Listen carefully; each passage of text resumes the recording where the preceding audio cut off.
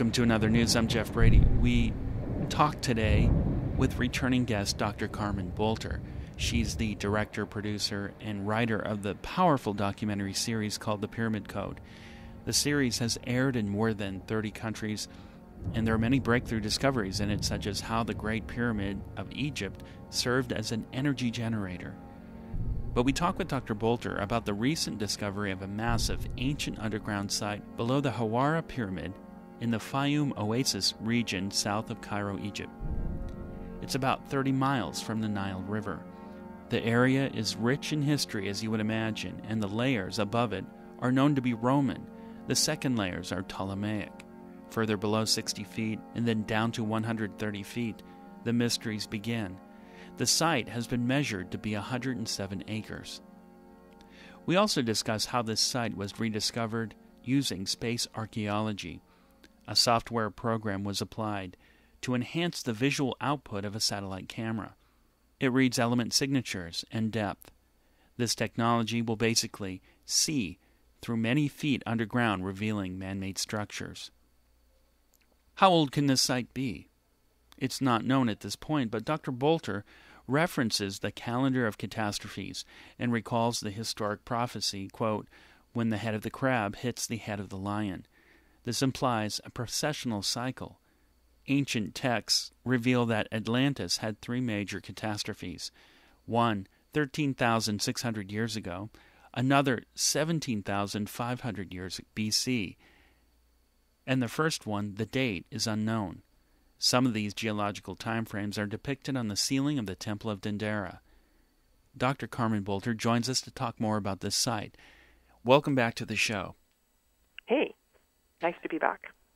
Earlier this year, you were on as a guest recapping some of the discussions we've had about the Pyramid Code, your documentary series, and the Great Pyramid serving as an energy generator, and revealing new information about a very special site discovered deep underground located near the Hawara Pyramid. And you've recently returned from Egypt with a focus on this discovery.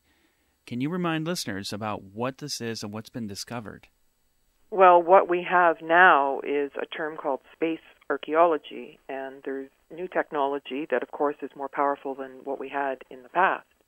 And so there have been surveys done of this um, site uh, using ground penetrating radar, laying um, wires right on the site. But now we have much, much more powerful tools that allow us to look six kilometers into the, below the surface of the Earth. But the real strength of this technology is that it looks through layers. And so in the other GPR, if you hit something and you see an anomaly, then that's it. You don't get to look below it. And so uh, I've managed to get, uh, using the uh, satellite um, coordinates, mm-hmm.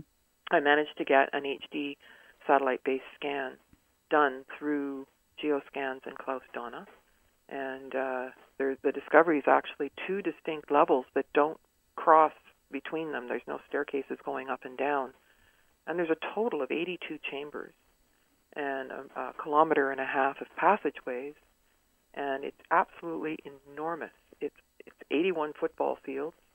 Um, in the, the general area, mm-hmm. and um, six of the chambers are the size of Olympic-sized swimming pools, and many of them are bigger than the average-sized house. So we're, it's almost like you know burying an airport kind of thing. Like, why would they need such big passageways, and why w- would it be so deep? So the discovery is uh, on two distinct levels, mm-hmm. very deep in the earth, from the construction, looking at the shapes of the uh, chambers and that sort of thing, and because one is so much deeper than the other, it looks to me, archaeologically speaking, that older is deeper, that it could be put there by in two completely different time frames. Okay, I'm looking at the map. I'm so happy to have this available, and I appreciate you putting these out uh, into the public domain. The blue level is the layer closest to us, and that's a little more than 60 feet deep. Then below that is uh, the red layer, which is another 60 feet or more below. And you're right, uh, there doesn't seem to be anything connecting uh, the two layers. In terms of uh, your archaeological experience. Is there a time frame between those two layers? Older is deeper, and in, uh, and that's really deep. And so I'm suggesting it's really old. The other thing is that there is a, a ruler in Google Earth, and the distance from the top of the pyramid to the Nile, the present Nile, is 30 kilometers. And so in the pyramid code, this you know it's shown that the Sphinx is actually eight miles from the Nile. And so there's been a lot done on redating the Sphinx, you know, up to what, 36,000, you know, years ago, could be even older. And this has got to be really, really, really, really old, outside of the mm. natural um, way that we think of time, mm. especially since the Bible and the Quran and all that in school wants us to think we're 6,000 years old. And there were two other layers on top the Ptolemaic layer and then the Roman layer on top of that that were excavated in 1881 by Sir William Flinders Petrie. And so that material is already out of the ground and in the Petrie Museum. And they found, you know, Roman sarcophagi with painted faces on the outside, so that the uh, the person who was deceased actually would have their face painted onto their wooden sarcophagus, which is relatively recent. And then the Ptolemaic layer is Antony Cleopatra time, and then it goes older and older down to the blue level, older, older down to the red level. So it's we need to go and verify these scans are very accurate in terms of other things that have been located and then gone and um, excavated and found. And so uh, there's a lot of success and reliability with this particular technology. It's actually they're, they're, they're referring to it as spooky accurate. It's so accurate it's disconcerting. Right, the uh, space archaeology, the particular satellite, uh, its resolution and ability to pass through uh, solid objects now underground. And looking at the the map, there are some similarities with the the red and blue layer, layer uh, in terms of the hallways, uh, but the blue layer looks a little bit more advanced in terms of its structure and layout the red layer seems to be hallways or long hallways, and occasionally there'd be a block here, a block there. But the blue layer seems to be much more modified structurally. Well, and that's what kind of gives the clue that they wouldn't have been put there at the same time. So it would be a different group that would have constructed it in a completely different time frame. That's what it seems to be. Now, um, the size of the chambers seems to be relevant. And if you look at those charts on that link, each of the chambers is, is a decreasing size, yet there's still even the the bottom, um, the, the the smallest one is still bigger than the average size house on those two levels. And so um, there seems to be a sequence. Um, it almost looks like notes on a scale. So there's 31 layers, sorry, 31 chambers on one level and 32 on the other. So there's something to the shapes and the sizes that seems to be relevant. So relevant to what? Now, on the blue level, the the bulk of the big chambers, you can see if you look at the map that it's um, if you look at Google Earth that they're they're almost the size of the, the farmers' fields next to it on the oasis. And so, why would they need to be so big? Why are these chambers self-contained without having like a doorway between them to connect them? So it doesn't look to me like it's a temple of any description because you go through the front front into the first hypostyle hall, and then the next chamber leads to the next to the next, all the way down to the Holy of Holies at the back of any traditional temple in Egypt nowadays. So it speaks to a completely different reason for having things down there.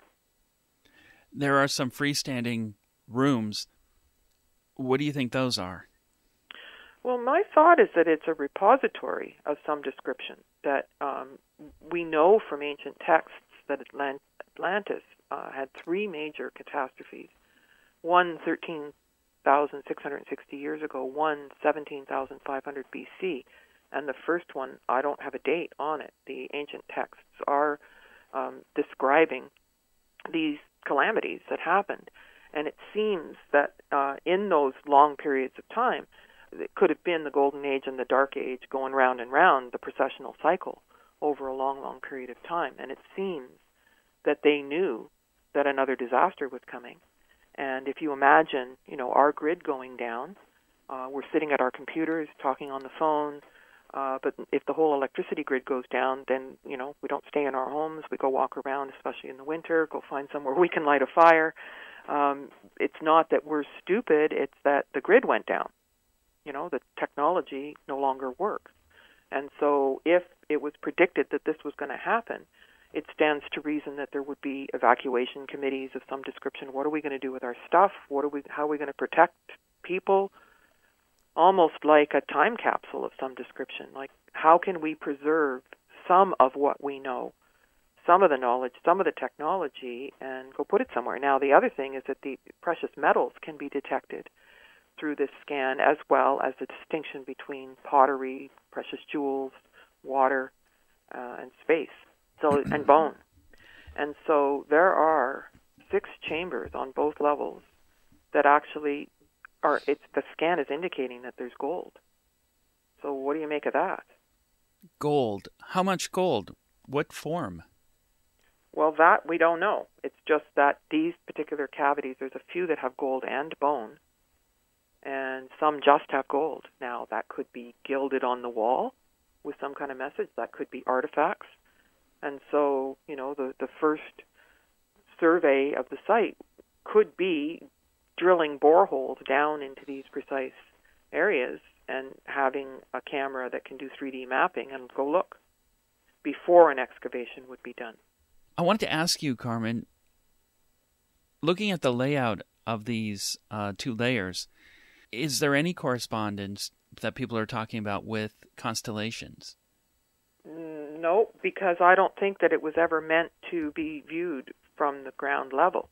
So there's a lot of sky ground correlations with the pyramids and the Band of Peace north and south of the Giza Plateau. We could do archaeoastronomy survey, and there could be some connections, but you know, there, I think it's too deep to expect that. Like, if you think about the Sphinx, has been buried to its neck, and then excavated a few times. But this is so much deeper than that.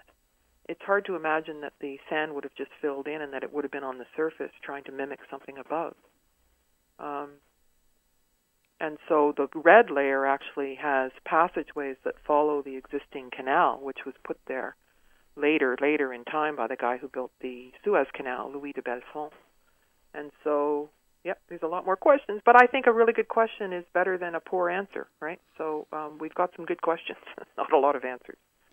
Yes, so, are these chambers uh, filled with sand and debris, or are they open? Uh, it seems that they're open, and Herodotus talked about it in 450 BC, talking about going on the blue level, but uh, not going below, but hearing stories about it. And so, the, the the old literature talks about 1,500 rooms on each level, and um, I'm not sure if that's exactly precise. Uh, and over the years, Pliny, Strabo, these 600 years apart. So these people weren't talking to each other about what was seen there, but it was known, and so it would make sense that you know another group would go back to the same site, which is why there are four levels, four distinct levels of time as well represented at this one place. Uh, yeah, I wanted to ask you about that. The various references uh, throughout other civilizations, and even in our history back into uh, the 1800s. This is a rediscovery in, in a sense. It's a new discovery on one level, but what prompted this scan to begin with? Well, I think that there's enough legend that people have been really curious, even if it was just the Roman level, you know, and, and so there's been a limited amount of excavation done in Egypt over the past 30 years and you know longer than that it seems that there hasn't been a lot of um you know honest to god discoveries done. You know king tut that was pretty good. Found a lot of really beautiful um artifacts there. But i think that people have known about it. They've discussed it. There's things that were found there and there's still more to be found. And yet you know the, the word on the street has been that there's nothing there and so now we have access to strong technology where you don't even have to be in Egypt to get the scan, which is the hypothesis. That's not the verification, but it seem it stands to reason um, that there is something there. Now, the last round of science that was done was done in 2008 on site by laying wires on the sand and sending weak electric signals down and through, but that was measuring the 5 meter to 12 meter level. And so there still seems to be anomalies at that level, but that, that is not what we're talking about here. So I think that the that the storyline and the legends and people in the area would have been talking just about the the stories that have you know endured over millennia. Are there um, stories back in ancient dynasties, say for example the Ptolemaic era, where they reference this site? Mm-hmm. Yeah. The other thing is that there's a mud brick pyramid over the top, and that you know the, the the construction of using mud bricks for pyramids is recent, and so what we see throughout Egypt is the strongest, uh, the best construction is the oldest, and then the more quote unquote modern is is is weaker, and so they call it the weeping pyramid because of the way the water when it would rain, the rivulets would get established because it's actually mud, so it would kind of go soft. Not that there's been much rain in that area for a long time, but it is right beside an oasis, and that speaks to a lot of water in the region. And so the modern pyramid is actually uh, deteriorating, and you can see through some of the bricks, right, because they've eroded um, with the moisture. And so that probably, you know, got added relatively recently. There's lots of unknowns because there could be a straight-sided pyramid underneath it. I guess my question would be, what are uh, other civilizations saying in reference to this uh, particular site? Is there anything that can add more evidence and start to fill in the picture a little bit more without excavation? Well, they're saying that the ceilings were made out of a single slab of stone, and I don't even know how that's possible. Um, and the thing is, though, is that even in the Pyramid Code, Herodotus, you know, met a boy in the village that told him, you know, that the pyramids were tombs and, you know, told stories about what was going on. And he went back and repeated it, and we've been telling that story since, whether it's true or not. So I think that it's it, it's important to to look at what everyone's said about it, but not just take it at face value because a lot of things are contradictory.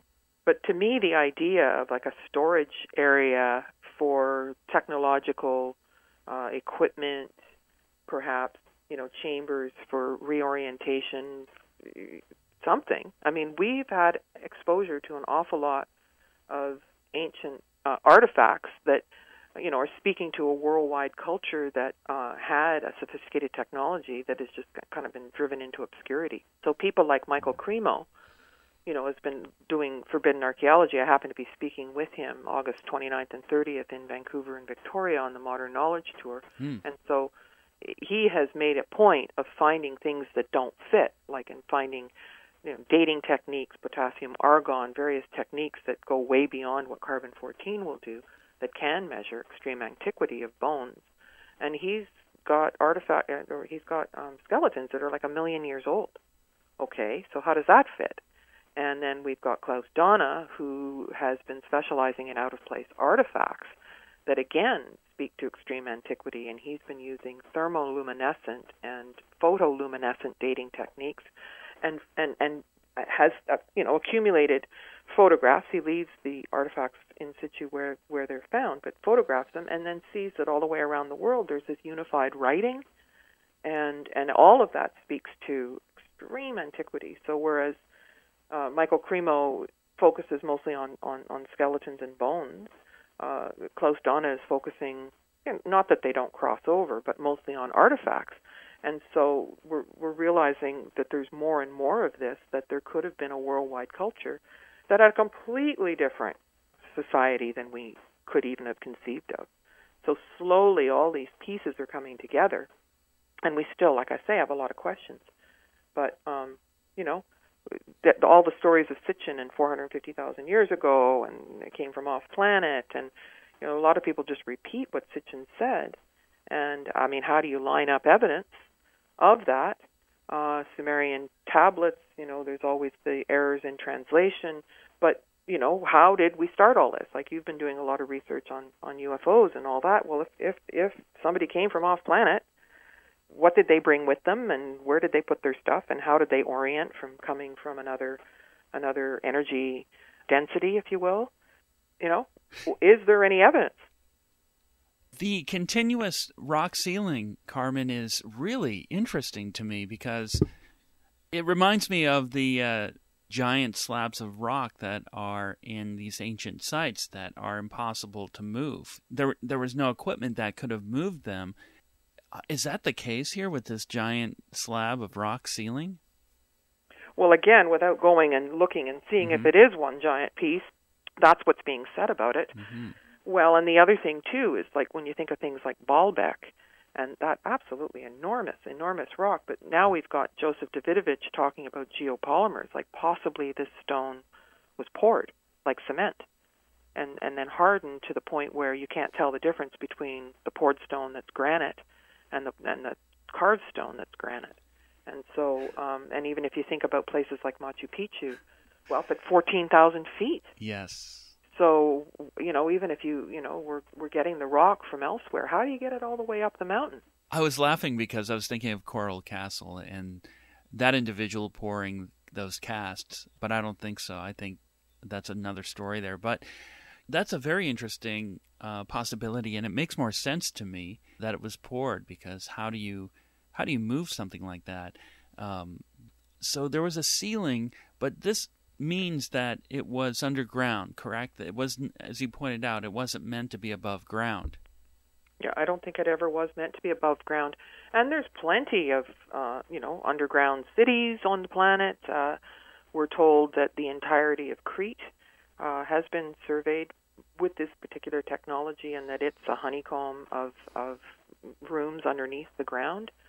They talk about a labyrinth and the Minotaur and the Minoan culture and this site is known as the Labyrinth of Egypt. Um, and so apparently there's um, stories of whoever built the labyrinth in Crete would have visited this site. And the, uh, Gavin Menzies talks about the Minoans. They talked about King Minos. I'm not sure if that was actually the, the, the, the, the, the right name, but that's the name that they're going by.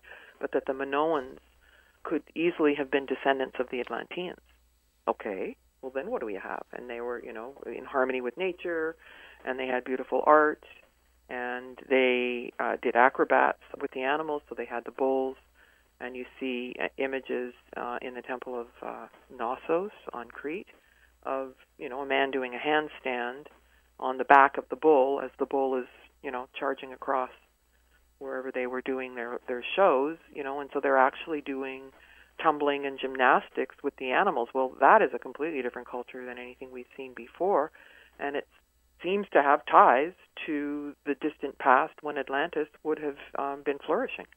Well, in terms of uh, beginning to excavate this area, what is needed? I, I, mean, I understand you have to get permits to begin an excavation from the Supreme Council of Antiquities. It's a lot of work to go through to get there. Can you describe that process? Well, there is a, a new minister, as there is a new elite uh, in Egypt. Zahi Hawass has stepped down, even though he's still, you know, interested and still curious about certain things. But um, there are 12 pages of guidelines that go with an application. So it's a very serious application. They're looking for archaeologists from reputable universities. They're not renewing any permits. They say right on the beginning that um, no new permits to excavate will be granted in Upper Egypt and brackets from Giza to uh, Abu Simbel, which is practically everywhere that there are sites. And so there's been a real restriction. And apparently this site is exempt, but they either want only Egyptian teams, the foreign missions have to be somebody who doesn't reapply, so it, it's this big dance, and so we need a certain amount of support to, um, you know, know how to present this application. And I mean, it's uh, you know, because they haven't been giving a lot of you know applications. It's kind of like Mission Impossible, and yet there seems to be quite a lot of interest in finding out what's really down there. But you know, even the archaeological technology to get to do it, to do the dig, is also something that is an enormous responsibility for the principal and the secondary archaeologists. So um, I'm working to get these permits. I'm working with uh, people in Egypt who I've been in touch with in the last uh, day, actually, on on how to best go about this in a way that the permits will be accepted. They do say there's a new minister that's going to be put in place. Uh, that the other minister has been highly restrictive so that new digs won't happen. Uh, so it's all a little bit iffy. It's a little bit, you know, it's a, it, it, and we're going to continue to try because there is um, a lot of interest in it, and so put our best foot forward. But just the way, you know, you don't call up a university and say, "Hey, I want to do a PhD." Okay, you know, uh, do you have a master's? Do you have a bachelor's? Uh, here's the application process. What do you intend to research? And then it goes to a committee, and you know, it's a big official process. And the committee meets you know, every eight weeks, and you submit a formal application and hope that um, that they'll accept it. And you don't do anything without that.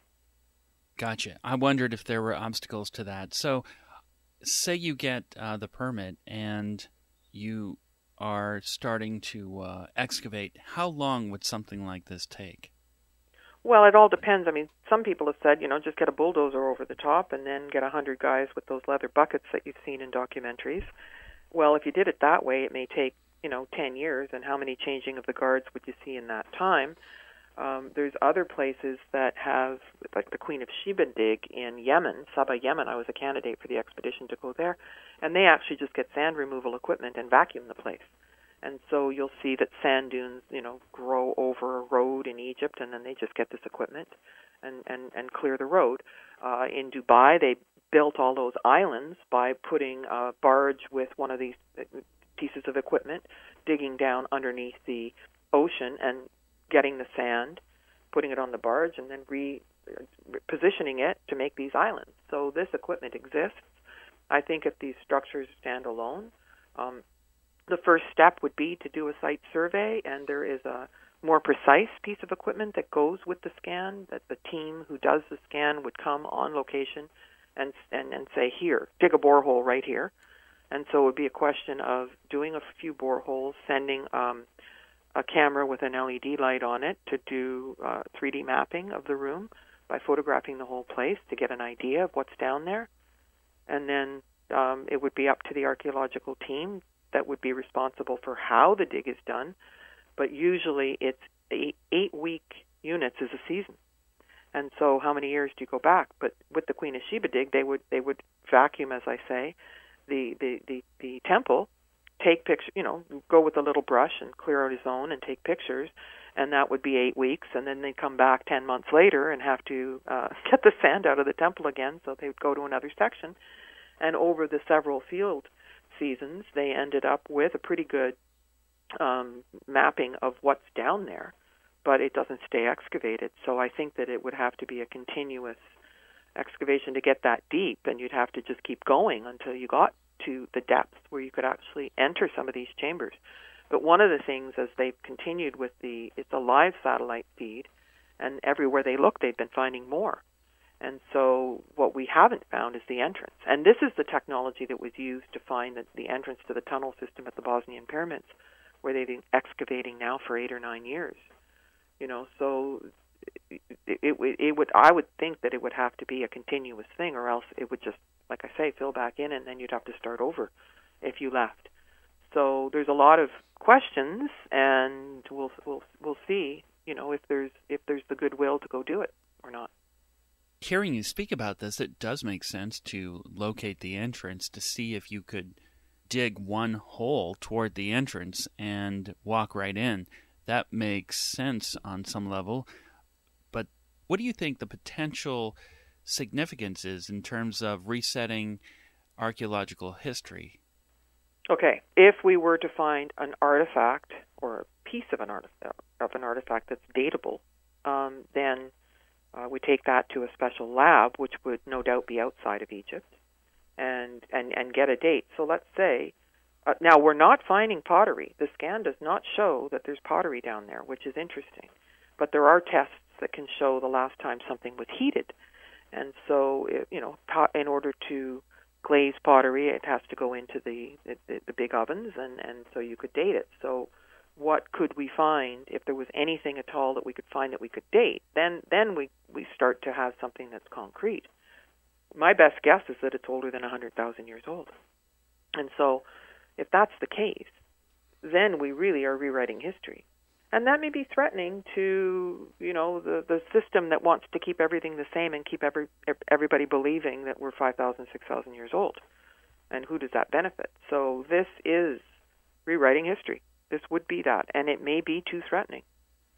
Um, that doesn't mean we can't speculate because we still have the scans. So we, it's there. There's something down there, and it's it's not at any depth that anybody thought before. So we've got something, and there's you know there's an awful lot of archaeological sites that have had this te- scanning technology applied to it. That doesn't mean the governments around the world are going to let it actually happen. But I mean, we we could write rewrite history based on many many things that have been found recently and uh, what some governments are doing is actually allowing the excavations. So three new pyramids in Ecuador, uh, you know, lots of different things being found in various places with excavations going with it. And so, um, you know, if if this doesn't happen, there's other places. There seems to be um, more and more that's unifying. Uh, there's pyramids popping up all over the world. Uh, they were obviously sitting there before, but uh, if they are pre-diluvian, then um, the silt from the, the the backing off of the water would be deposited on top of the pyramid, and things grow. And so with the Bosnian pyramids, it, it doesn't look like a straight-sided pyramid initially because the trees are all different heights. But if, as they've done the excavation, they see that it very definitely is a straight-sided pyramid with trees over the top. And so there's more and more of those kinds of pyramids being found. And so I think we have to rewrite our idea of, of what really went on on this planet a long time ago. Our guest is Dr. Carmen Boulter. We're speaking about the recent discovery of a massive ancient underground site in Egypt. We'll be right back after this break.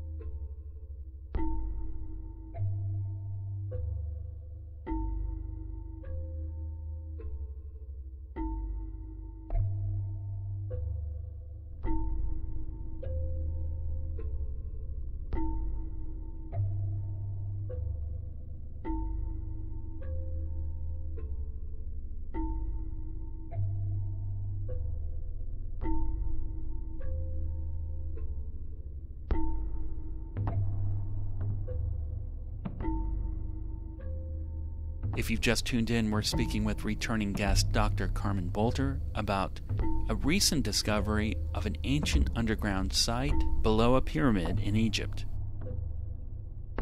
On a semi related uh, topic here, there was a, a video uh, that I was pointed to uh, with uh, Graham Hancock and Zahi Hawass, scheduled to speak at an event and have a discussion on uh, this area.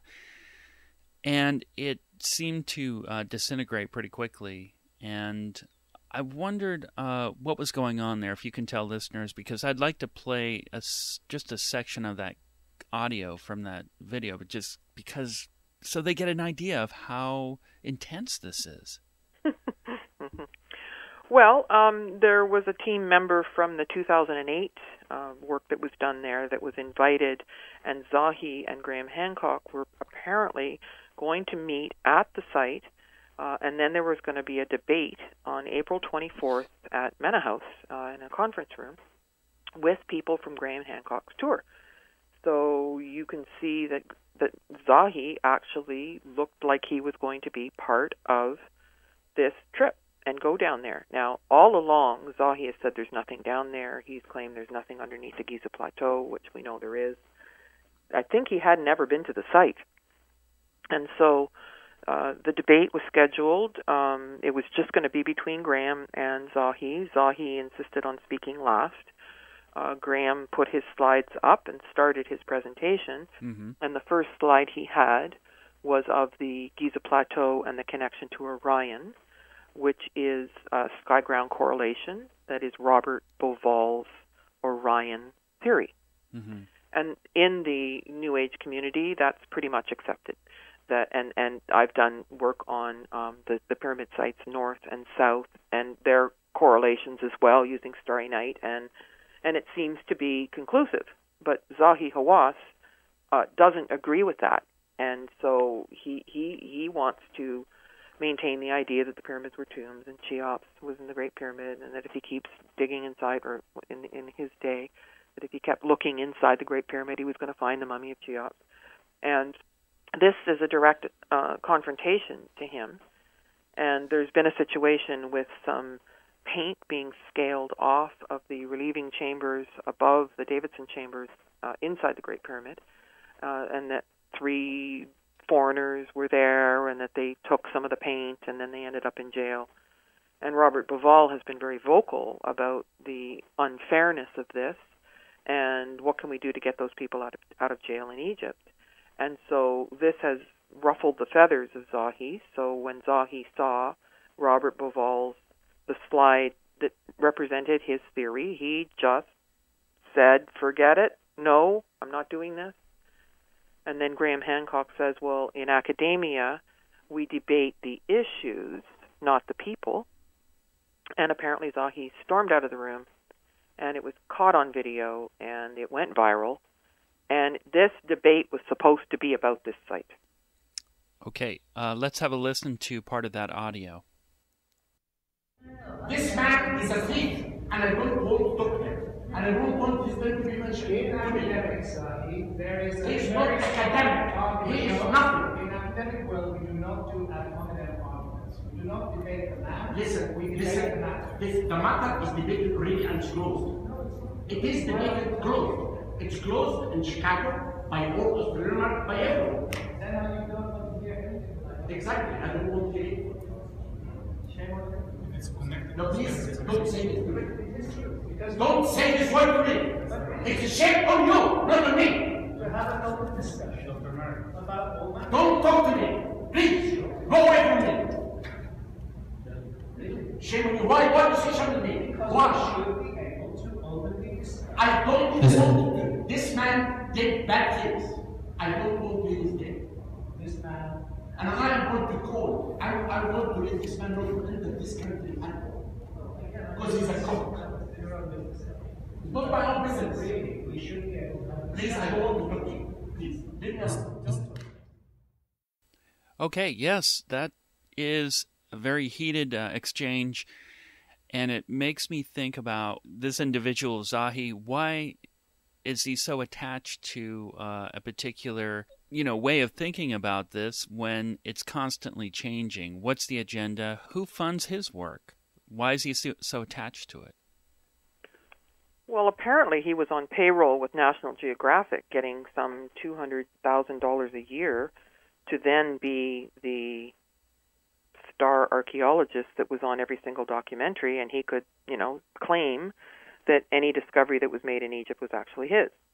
And that seemed to be the game. And so when he found out that there were people actually doing some um, testing on the site, not excavating but testing, um, you know, he just you know, had somebody go down there and threw them out of, threw them out of the country with a death threat and put the e- Egyptologist in jail and uh, and basically shouted off rooftops to say there's nothing there, there's nothing there, there's nothing there. However, uh, an announcement about that uh, that they'd found anomalies did come out in 2008, and it was published in the newspapers um, in Austria and Germany and that and then Reuters actually called to verify is this announcement correct? And Zahi said take it off take it down take the website down. There's nothing there there's nothing there there's nothing there. So it seems to keep the, the old story going. Uh, you have to shut down everybody who's got a different opinion and so it seems to be a threat to the status quo that you know we're 5000 years old and there's nothing down there these are interference patterns. I mean, humanity. What's what's the truth? How can we get at the truth? I I, I see that they they want to keep the old story going.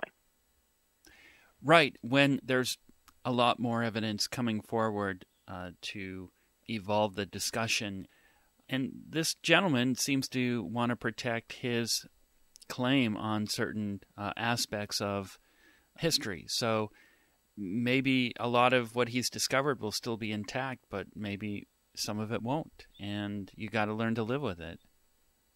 Well, and then there's stories like artifacts that were found in Peru, for example, that went to a dating lab, a photoluminescent dating lab. The guess, the hypothesis, was that this could be like 100,000 years old, and the, the the lab kept this artifact for over a year, and then came back and said it was 4,800 and some years old. Well, that's because no artifact in Peru has ever been allowed to be older than 5,000 years old. And when they gave the artifact back, um, they said, "Oh, you don't have to pay." And so even the labs are corrupt. So to find, you know, labs that can actually do the dating and tell the truth about the date is challenging. And that if something is out of place, if something is older and it doesn't fit fit with the story, they bury it again. Yes. Or uh, they take it in, in a boat and dump it in the in the river. So what is actually happening is evidence is being tampered with.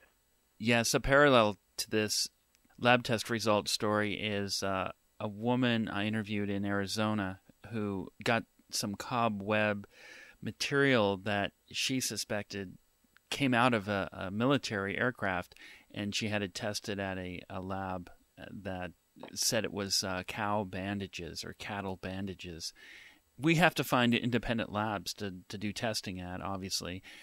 But I want to go into uh, some of the realm of speculation that you do about about who built these structures underground at this site and uh, the Atlantean connection, because I don't really know that much about it. And I wonder what information that you have that supports some of the speculation with Atlantis. Okay. I've seen this prophecy several times in different contexts, but apparently they had the, the prophecy reads when the head of the crab hits the heart of the lion, and they're actually speaking about the constellation, the crab being Cancer and the lion being Leo, that somehow these two astronomical, astrological um, realms would crash into each other, which hardly makes sense. But the, the prophecy says that when that happened, there would be a disaster, and that you know, and so it sounds like that something like an asteroid hitting. That there was a a way that they could predict that. And what we see in Egypt on the first hypostyle hall of the newly cleaned ceiling of the Temple of Dendera, and the round zodiac, the, the one that's known as the zodiac of Dendera, that Napoleon copied and then left the replica in Egypt in situ and put the real one, took it and ended up in the Louvre. And so they've renamed that now to the calendar of catastrophes. And it shows, it pinpoints, there's a woman named Svetlana Pavlova, it pinpoints the exact moment when this disaster would have hit, but it also apparently knocked the axis of the Earth off by 14 degrees, which is what is mapped on the Giza Plateau. The angle and measuring when the solstices and equinox would come up based on these causeways, and it's they had to recalculate. And so the ceiling of the Temple of Dendera has a linear zodiac. It's basically saying the flood happened right here, and this is what we had before, and this is what happened after. And so there's places like Nabta Playa, and Gilf Kebir in Egypt, where they started, like like I said before, with the metaphor that the you know the grid goes down. Uh, so there's some people that survive. Uh, Gilf Kebir means high plateau. The cave of the swimmers, as as noted in uh, the English patient, is there. Some people would have swam along. They didn't drown. They climb up on this high plateau and start again with Sirius, Orion, the Pleiades, you know, the the pole star, and mapping out just our place in the universe, our place in the solar system, which was really important to the ancients. And so it seems, you know, that it points to all of this. And the rest of the ceiling, I mean, this is 40 feet high, mm-hmm. but it's absolutely gorgeous. But it's got all kinds of things um, that, that indicate the precession of the equinoxes and archetypal energies, you know, gods and goddesses, the phases of the moon, uh, you know, the, the, our place in terms of the precessional cycle, and it's it's really um, it's it's it's remarkable and uh, challenging to interpret, but apparently we're we're getting closer to understanding what the ancients were trying to say. So they had a 360 day calendar. They had three um, weeks of 10 days, and we have you know four weeks of seven days, and And this idea of 365 days is what happened. It cha- it knocked the orbit of the whole solar system off to the point where a year ended up being five days longer. So in Egypt, instead of changing the calendar, and we know that the Gregorian calendar was altered, you know, relatively recently, um, they just had five days out of time, and they honored, you know, a god and goddess for each one. So Isis, Osiris, Set, Horus, and Nephthys, I guess. Um, and so each day was a celebration of those gods and goddesses, and then the rest of the year was the 360 days as they knew it. So you know that they they were all about understanding these cycles of time, and so that is related to Atlantis. It's related to when the flood happened, and then people are trying to say, well, where was Atlantis? Well, it seems that it was a seafaring culture, and that everywhere we think Atlantis was would have been part of it. That it would have been uh, global, and so the idea of Plato's um, the, the concentric circles and the pyramids w- was that the ships would come in because they were had these huge trade routes, and then they would turn right and go around, and then stop and drop off their goods, and be the the ships would be filled back up with other goods, and then they keep going in this similar direction and out in the harbor. So we see you know many constructions um, just outside the uh, the Pillars of Hercules in the Strait of Gibraltar. Uh, it could have been in the Atlantic Ocean, the Azores. There's there's several places on the planet that seem to have these round cities, but that simply is a signature of Atlantis of how they would have built their cities all over the world. But if you're going to have that amount of you know impact on the planet, like a global catastrophe, then it changes the the level of the water everywhere, and a lot of these places just kind of sank. So we've got those wagon tracks in Malta, and they just end at the end of a cliff. Well, the rest of it's down underwater. So when we had that big tsunami in uh, December 26th several years ago in India, you know the water receded to the point you could see that there were cities down there, and so Barbara Hand Clow wrote about catastrophobia that mm-hmm. we all have this kind of you know collective amnesia, and that these accidents happen, but we don't really know. We don't have a map of where to put it, um, and yet it's it's on the collective psyche of of us as a humanity because of what happened.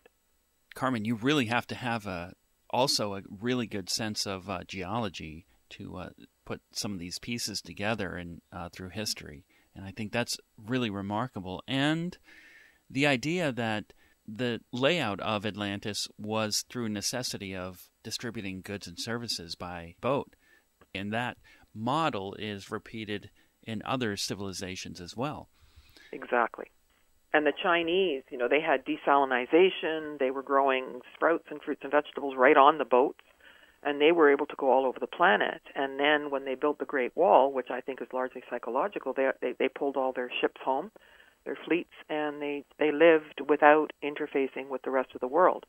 But again, Gavin Menzies is talking about how the Chinese could easily have come to North America long before Columbus, and that they were seafaring. But where did they learn that? And so the idea is the third party hypothesis that if the Chinese, the Egyptians, the Mayans, they're all talking about ancestors that taught them about civilization, it could be that they all had the same ancestors which would have been the third party, which could have been the Atlanteans. But then, who taught the Atlanteans? Who came before that? And what did they know? So we're really dealing with an awful lot of lost knowledge.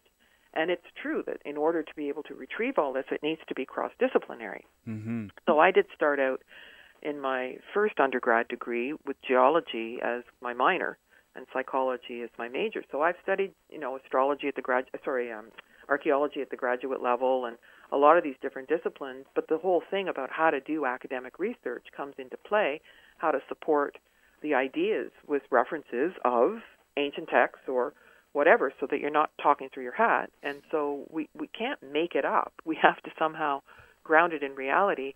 But if we don't understand geological time and, and worldwide catastrophes, then you know we don't have all the cards in the deck if if we're doing that. And you know, to say everything started, you know, with the flood and that nothing happened before it uh, is naive. It's very troubling in a lot of ways that that imprint is uh, really reinforced in this country and around the world on, on many different levels in South America as well, as you pointed out. Uh, because we don't get a sense of our collective history as human beings on this planet, but I can't wait to see what happens here. What's the next step for beginning to get these permits and move toward excavating? Well, there's there's a couple of groups that are competing to get there first and get the permits. Mm-hmm. And of course, it'll all be up to the Supreme Council of Antiquities, and I think it has to be, you know, as strong academically as possible. And and the teams that are, you know, formulating uh, aren't necessarily archaeologists. So it's a question of submitting the application with the blessing of the elite in Egypt. And that's what we have to work towards and, you know, share the scan and validate that the scan is actually something that, you know, can help. And then the permits are granted and then off you go. Um, so um, I I don't know I don't know if they're going to let us do it, which is why I think that you know speculating here um, you know, is just giving us an idea that that that it's possible and weaving this story together. But it's it's a little. What if we find stuff down there that's really different, right? Um, exactly. I mean, talk about a disclosure event. Mm-hmm. How do you mm-hmm. put that into context? And my investment is filming, because you know th- there's a chance that once the excavation happens, it could be buried. I mean, figuratively, and that the information doesn't come out. And I think that this is you know humanity's heritage and so we owe it to ourselves to, you know, expand our capacity to look backwards in time and to think about what happened here, what happened in another time frame. I mean, the fact that this is hidden from humanity, that we don't know who we are or where we came from or why we're here, and all of the stuff that goes with UFO disclosure and everything, it's it's mind-boggling that we've been programmed to just look at such a narrow window of time but what's the purpose of that? You know, so the whole thing, even with the Sitchin material, is that you know we were enslaved and star seeded from you know other planets, and you know we had to work to get the gold, and we were enslaved. Well, the implication is that we're not enslaved now, and all of these different things fit together to keep us in a place of disempowerment, and also giving our power to the priest or to whoever to you know, take care of us, or you know, the government to take care of us, the priest to you know ensure our salvation when we pass, and that sort of thing is all about disempowerment. And so, if we were to truly be an empowered humanity, well, what does what does that look like? So, you know, in matriarchal cultures, the idea was empowerment, empowerment of everyone, connect, include, and and that sort of thing, and that we have we can touch our own divinity within ourselves without needing an external, um, you know, religion to to give us that. And so we are living in a very disempowering time. That's why this is so important to think that possibly we, we, we did have a whole different social structure.